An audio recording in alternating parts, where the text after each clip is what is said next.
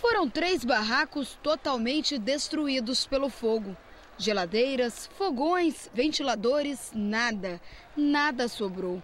O incêndio que aconteceu em São Pedro I, em Vitória, foi controlado pelo Corpo de Bombeiros com a ajuda dos vizinhos, que usaram baldes d'água e uma mangueira.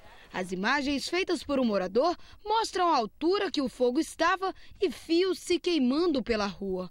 Por sorte, ninguém teve ferimentos graves. Seu Pedro, de 70 anos, mesmo operado e carregando uma sonda, conseguiu sair sozinho de um dos barracos. Saí por Deus. A casa estava trancada, fechada no cadeado. Eu consegui, no escuro, abrir o cadeado e consegui tirar a bolsa da beira da cama, que está na bolsa, e consegui abrir a gaveta, pegar só o documento e sair rapidinho na porta. A sobrinha de seu Pedro chegou quando os barracos já haviam sido tomados pelo fogo. Ainda assustada, a mulher lamenta a destruição da casa do tio. Uma coisa muito triste e poderia ter acontecido coisas piores, né? Poderia ter acontecido coisa pior com ele. Quando o corpo de bombeiros chegou no local, já não havia mais nada.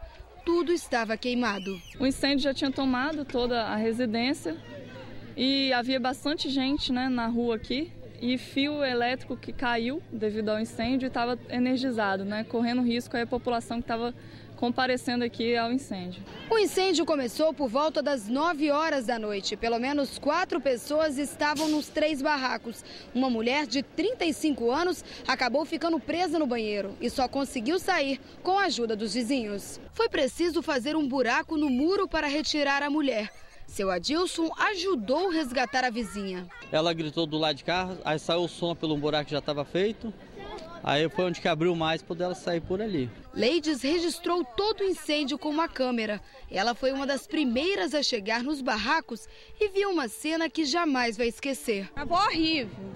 Eu pensava que ia pegar fogo nas casas de todo mundo. Não foi possível descobrir de onde o fogo começou.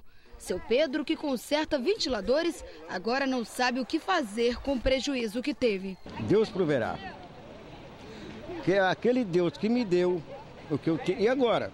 O prejuízo de tanto troço que eu tenho de conserto dos outros, queimou tudo.